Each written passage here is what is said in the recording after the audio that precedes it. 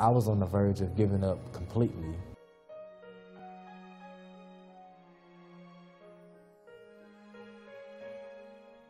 My childhood has been very rough for me. When I was four, my uncle told me that he didn't like me in my face.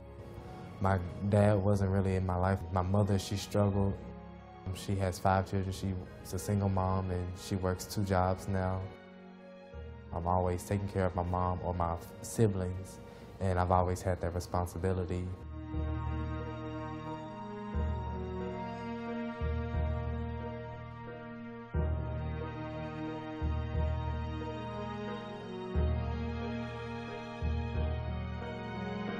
And I was catching the bus early, 5 o'clock in the morning, uh, trying to get to school on time. And mind you, I was trying to take my little brothers and sisters to school.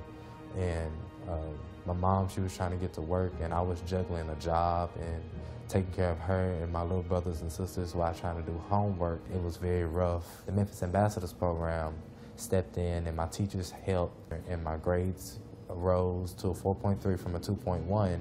And so I decided to um, create a club that would help students that were going through similar circumstances as I did. It was to help students with their academics, their self-esteem, leadership development, college and corporate readiness, uh, in their community service.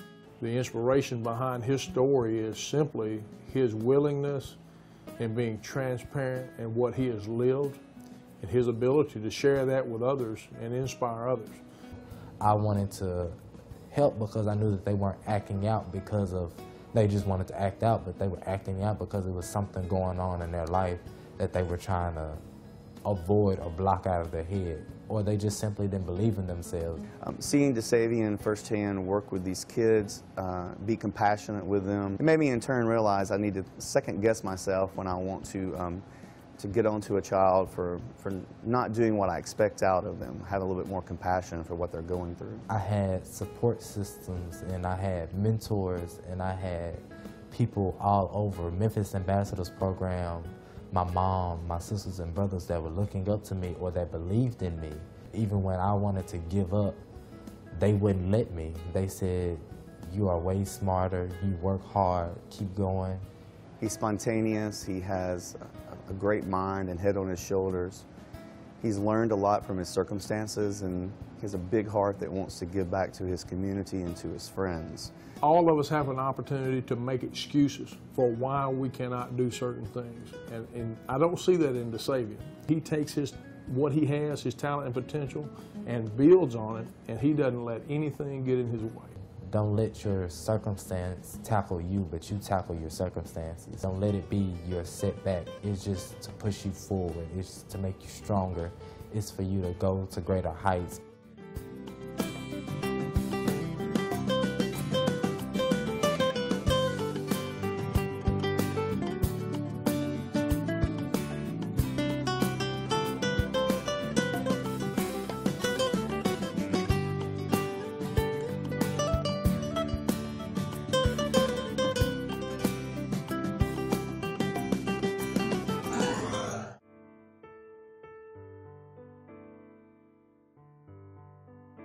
A teacher showing compassion would be just as simple as you might be having an issue and you go after school and they still there and they might have work to do or it might be time to put in grades and they set that aside and they come help you. That's all you can ask from from a teacher, you know, not to be just saying, hey, this is what I need you to learn and then I'm done. I need, you know, that teacher that says, I'm gonna help you every step of the way. I don't care how much, it, what it takes. I'm gonna help you, and that's that's the kind of teachers that really help students like me. Or to be honest, I really don't know where I would be. I probably wouldn't be standing right here today if it was not for those teachers. I was like this close to saying, you know what, it's not even worth it.